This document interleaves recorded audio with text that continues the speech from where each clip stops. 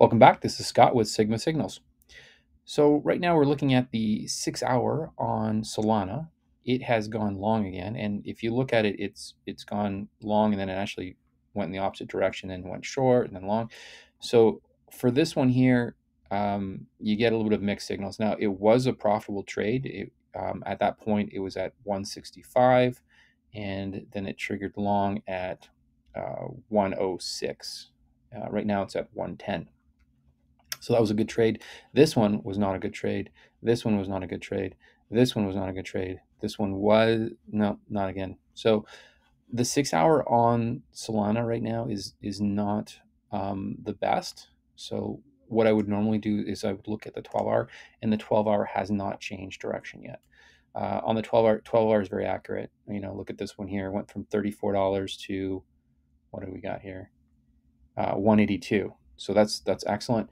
Now, the one thing that I would consider is that it's making, it's breaking uh, a previous resistance, and that's a big deal, and it's using it as support. So if we go back to the 12 hour, to, sorry, the six hour, and you look really closely along this line here, what was once resistance is now support. And if you get right in there, you can see that it's acting as, as support.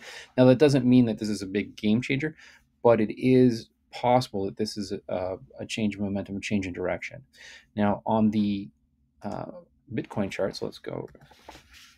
Use this one here. Let's try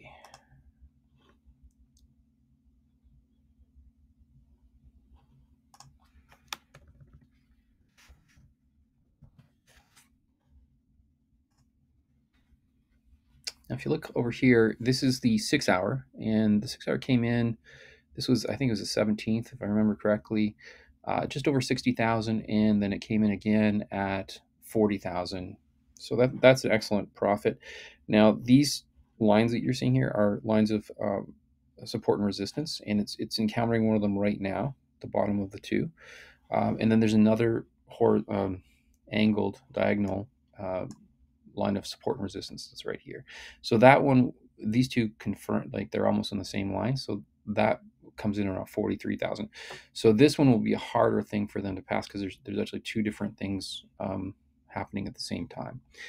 Now, that's the six hour. On the 12 hour, it's, I believe it's too soon.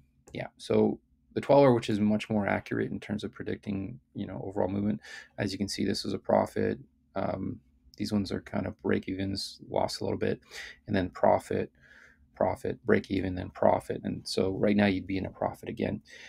That one has not yet signaled, but if it continues the momentum that it's it's at right now and blasts through here, there's a good possibility that it, it will trigger uh, along again. So that's what I have for you today. Um, if you if you are getting our signals, um, pay attention to the six hour and the 12 hour, both on Bitcoin and on Solana. And that's all I have for you. Good luck.